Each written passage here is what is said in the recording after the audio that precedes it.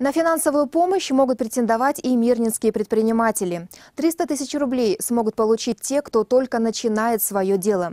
Районные власти объявили о начале конкурса на предоставление им субсидий.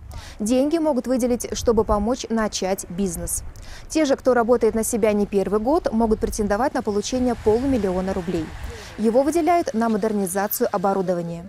Обязательное условие – предприниматель должен быть официально зарегистрирован и вести свою деятельность в Мирнинском районе. Заявки на участие принимают до 17 ноября. В 2016 году у нас поучаствовало всего 32 субъекта малого и среднего предпринимательства. Из них 15 субъектам одобрили. В основном это индивидуальные предприниматели.